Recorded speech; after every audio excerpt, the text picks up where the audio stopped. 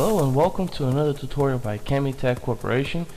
My name is Carlos and I'll be helping you today with a couple of questions that I've had some customers ask me.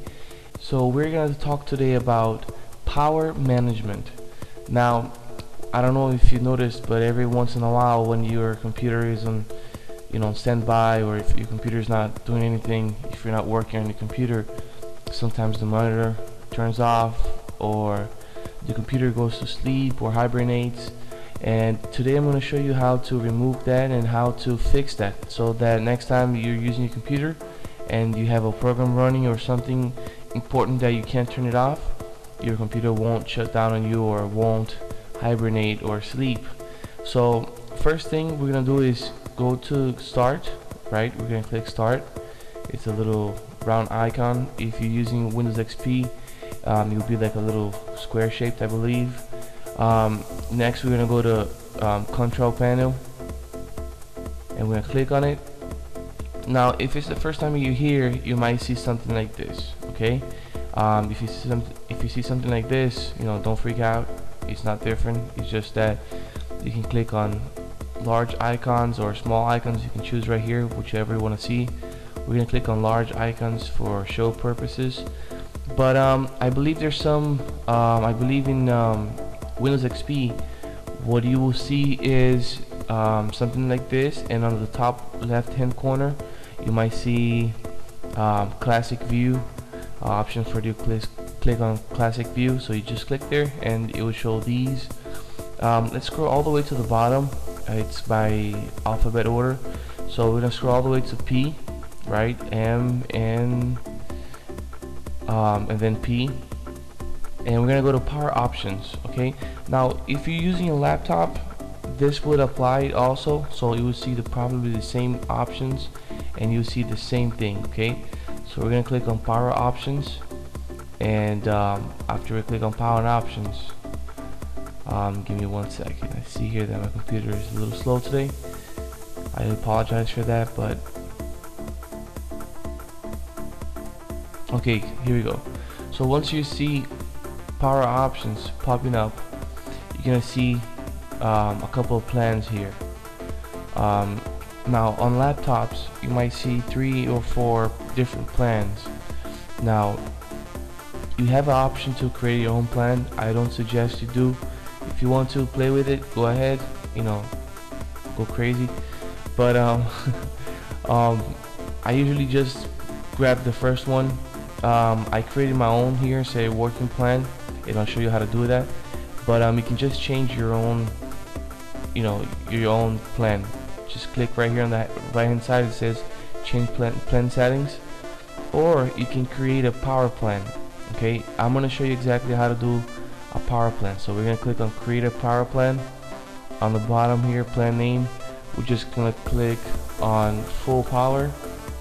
Um, can adjust to whatever you know suits you.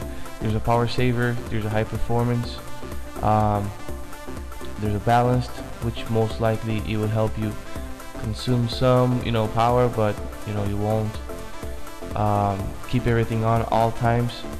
But um, we're gonna do the full power so we're gonna use the high performance option. And then he's gonna ask you change settings for the plan full power which is the name that we given we have given um, turn off the display. This will turn off the, the monitor. Um, let's put whenever. So we're gonna change so that the computer is always on. It never turns off. This you can change um, to how many minutes or hours that you want. And this the, when it talks about the display it only talks about the monitor. It won't affect your computer okay? I've seen some customer ask me oh if my monitor turned on I mean turned off you know, it, does my computer lose everything that I had say it hadn't saved? Um, I tell you, it doesn't. So it just affects the monitor. And then put the computer to sleep on the second part here. That affects the computer. I put never. I had chosen never because that's the high performance that we chose. Now some computers might have, you know, five hours, one hour. What this means means is you know after how many minutes you set up to the computer will go to sleep which means it won't turn off but it will literally look like it will turn it turned off but it won't turn off. Um, after we choose whatever you know timing that we want I'm gonna put both of them for never. So it never turns off or never goes to sleep and then I'm gonna cre create. Now if you're using a laptop um, you're gonna have two more options. First of all what happens when you click on the sleep like right here. Um, change when the computer sleeps or this is for the display or for the, the computer sleeps. But you will see on the laptop saying um, choose what happens when you close the lid which means that when you close the, the top of the notebook um, you can change it to nothing or you can change it to you know goes to sleep shut down or whatever. Whatever suits you whatever you know makes it easier for you. And there's also an option for you to what happens when you press the power button and also what happens when you press the sleep button. So you choose you know it's pretty simple easy and obvious. Um, if you want to click on the um, if you want to press the turn off button and you know the computer turns off you just choose that option. If you want when you click the power button for the computer to go to sleep choose that option. And same thing applies for the computer to sleep and etc so this is basically what you you know what you would do you will see here that preferred plans. You see here the full power plan that we just created. And make sure it's chosen you know so that the computer would work around this. And you know after you're done with this you can just close it. And that's it.